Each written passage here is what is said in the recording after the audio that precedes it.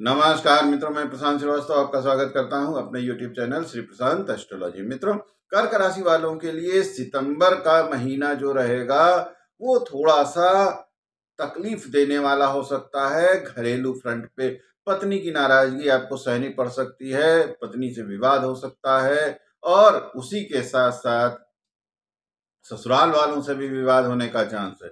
साथ में आपको हो सकता है कि इस दौरान परिवार में आपके माता जी के स्वास्थ्य संबंधित दिक्कतें भी आ जाएँ तो इसलिए थोड़ा सा आपको यहाँ पे इस फ्रंट पे ध्यान देना है।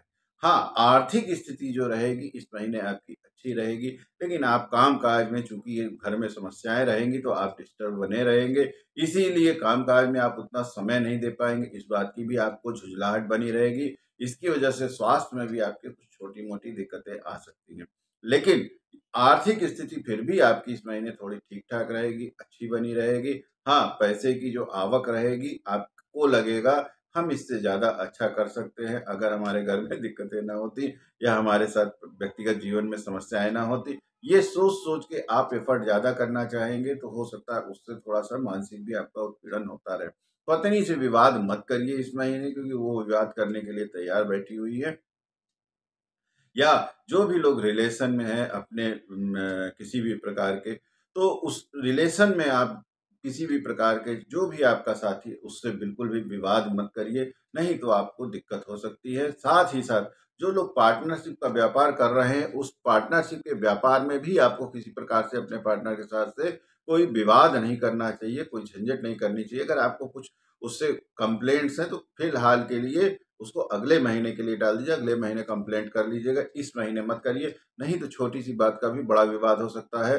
तीसरी बात रहेगा, स्वास्थ्य का जो मामला रहेगा, आप छोटी मोटी समस्याएँ अगर आप छोड़ दी जैसे हमने अभी आपको बताया, बाकी चीज़ों में स्वास्थ्य आपका इस महीने, पिछले महीनों से बेहतर रहेगा, स्वास्थ्य में आपका अच्छा रहेगा, जिसकी वजह से आप एफर्ट भी ज़्यादा कर लेंगे, मेहनत भी कर लेंगे, दौड़ भाग भी कर लेंगे।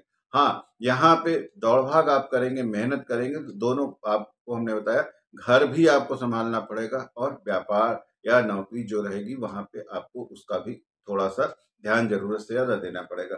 परिवार में माता जी का स्वास्थ्य का ध्यान देना पड़ेगा। बच्चों की तरफ़ से आप निश्चिंत रहिएगा इस महीने, बच्चे आपके अच्छा करेंगे। बच्चों की तरफ़ से आपको खुशखबरी भी मिल सकती है। किसी न किसी प्रकार के बच्चे आपको जो है एक गुड न्यूज़ दे सकते हैं या किसी प्रकार का बच्चों से सहयोग भी आपको इस महीने प्राप्त होने की पूरी पूरी उम्मीद है।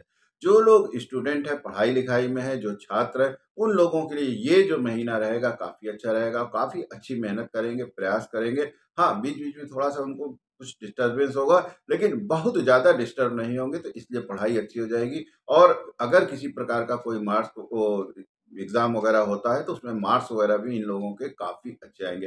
तो छात्रों के लिए भी जो ये महीना है, या कॉम्पिटिटिव एग्ज़ाम जो लोग दे रहे हैं, उनके लिए भी ये महीना जो रहेगा काफ़ी अच्छा रहेगा।